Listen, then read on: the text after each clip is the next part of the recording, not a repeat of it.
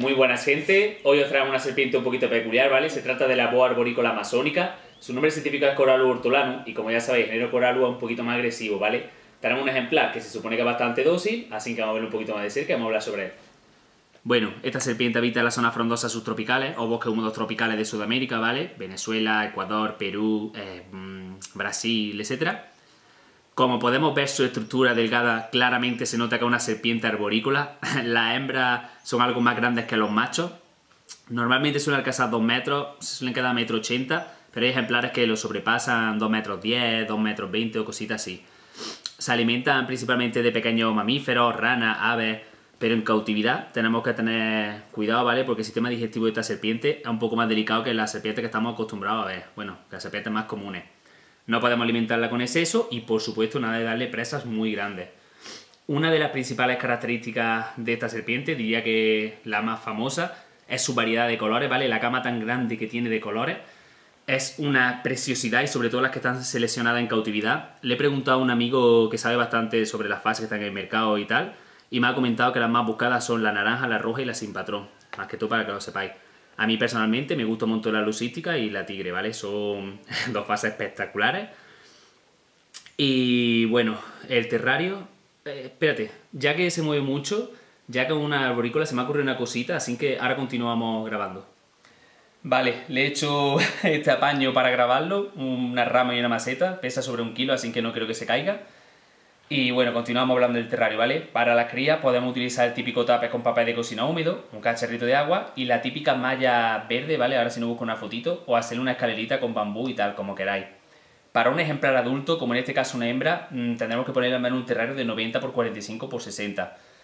En el caso de tener un macho, pues le podemos poner un terrario un poquito más pequeño, no pasaría nada.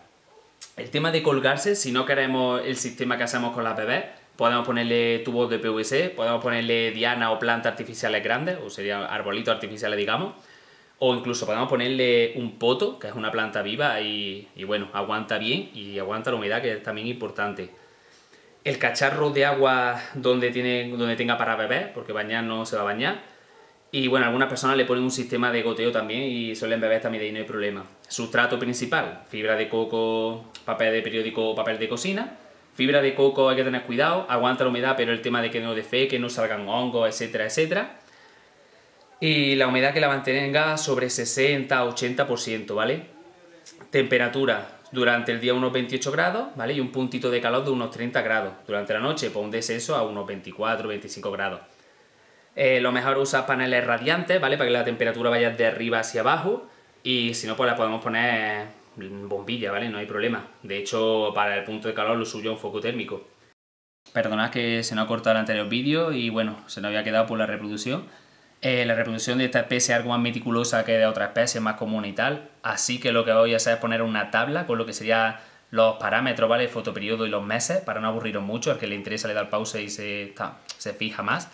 Suele llevarse en este caso el, lo que es el macho al terrario de la hembra entre diciembre hasta finales de febrero, cositas así, y siempre separarlos para comer, ¿vale? Es importante que no sufran ningún percance. Ya sabéis que las serpientes tienen que comer por separado. Y ya los separamos en marzo. En mayo generalmente mudará, que esto es lo que llamamos una muda post-ovulación, ¿vale? Y sobre 130 días después, pues ya cría, ¿vale? Pare, no ponen huevos. Y suelen ser entre 4 y 20 crías, que creo que suelen tener 30 y 45 centímetros ya directamente cuando nace. O sea, son larguitas, muy delgaditas, muy guapas y bueno, tienen otra coloración, así que nada, voy a intentar buscar igualmente una fotillo y yo la enseño. Y nada, espero que haya gustado esta belleza y próximamente más.